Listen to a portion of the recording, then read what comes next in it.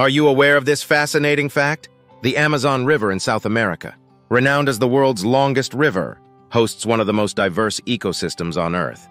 In the Amazon rainforest, a realm of ancient mysteries and over 3 million different species, lies a habitat for some of the most unique animal families. This little fellow, neither a bear cub nor a raccoon, but resembling an unattractive crop and perhaps even cute, with its round body and small ears that seem almost too slight compared to its head size, is known as the bush dog. Discovered initially as a fossil in a Brazilian cave around the mid-1800s, the bush dog was once thought to be extinct.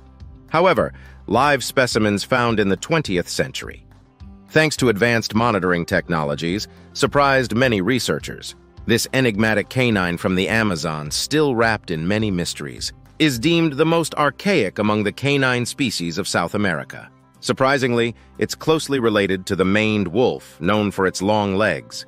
At birth, bush dogs have black fur, which gradually transforms into a unique yellowish hue as they grow. Their strong odor has earned them the nickname vinegar dogs.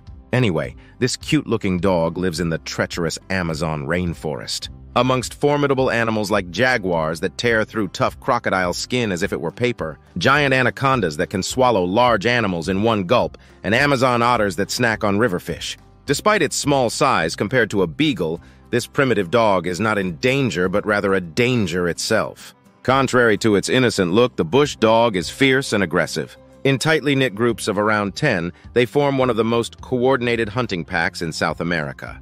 Despite their smaller stature, they target large herbivores like tapirs and capybaras.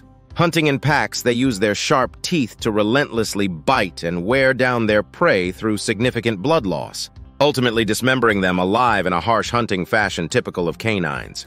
Even the capybara's tendency to escape predators by jumping into rivers is ineffective against the bush dog's excellent swimming skills. Even when making their homes, they don't dig their own burrows. Instead, they invade armadillos' burrows in groups, forcefully taking over and driving out the armadillos, securing their homes in a rather nasty manner. Survival in the harsh Amazon surely has its reasons. What do you think of this primitive dog? I'll return with more interesting stories next time. Thank you.